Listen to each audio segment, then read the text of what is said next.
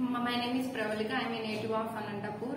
I am graduated from Dr. K.V. Subbareddy Institute of Technology in the stream of Electronics and Communication in the year of 2020.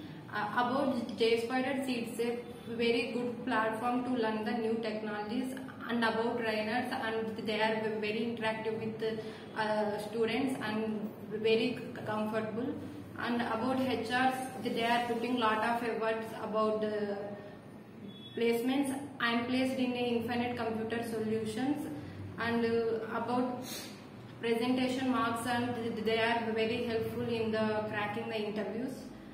Thank you j spiders